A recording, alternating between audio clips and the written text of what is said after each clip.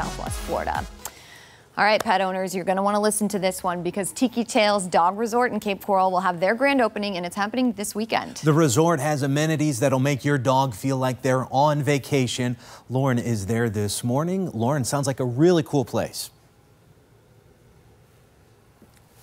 Really is a lot of fun here, Chris. And if you didn't think downstairs was enough room for your dog, well, we have a whole upstairs for your animals too. I have Brandon here. You're going to kind of give me a tour through here. I can't get over how much space you have for all of these pups. Yes, we were very lucky to get this building to be able to do this with. Uh, we have two more rooms upstairs for daycare and an additional room that we put more suites in for the dogs to stay the night.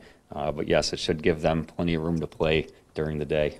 And so let's take a little walk because I see why Vaughn, she's moved over here to some of these paw prints that lead to more of the suites that you have. And I just love how they're decorated. So you're kind of sticking with this very Keysy, Margaritaville-esque theme. Uh, why, why this theme? Uh, you know, it seems in Florida that that's uh, starting to be the trend. it's just uh, more places are opening with the theme. And I haven't seen one that a dog resort did it. So why not be the first at something? well, I yeah, exactly, and I totally love it too. And so you had a bit of a soft opening. You already had some people drop off their dogs over the weekend, but your grand opening is on Sunday. So tell me a little bit about what you guys have planned there. Uh, it starts at one o'clock. It's going to go till four.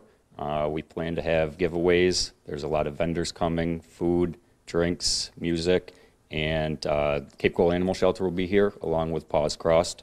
So the proceeds from the sales that the vendors have. Uh, we're going to be donating some baskets and giveaways, 50-50 drawing.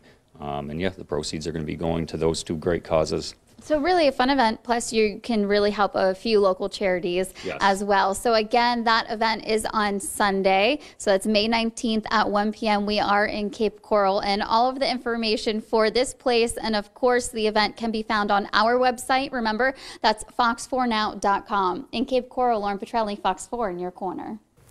All right, Lauren, thank you.